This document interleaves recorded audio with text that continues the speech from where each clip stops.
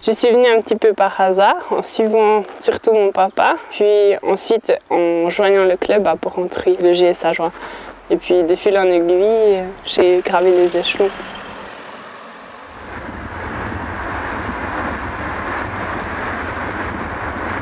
L'entraînement, c'est tous les jours, bien sûr, à vélo. C'est aussi un entraînement de musculation, un entraînement de gainage et ça varie entre 7 et 26 heures par semaine.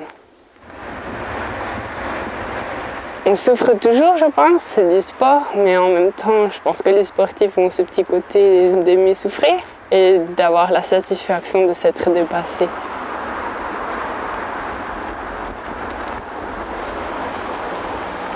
J'aurais bien sûr de participer une fois aux Jeux Olympiques, d'atteindre une fois le meilleur niveau international et puis surtout d'avoir toujours autant de plaisir à pratiquer le sport que je fais.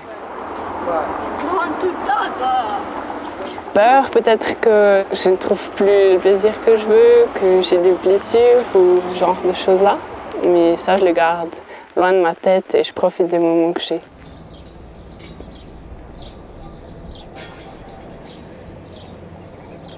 Faire du vélo pour moi, c'est un peu tout. C'est mon plaisir, c'est ma façon de dépenser mon énergie, de vider ma tête et puis de profiter surtout du, du magnifique paysage que j'ai ici.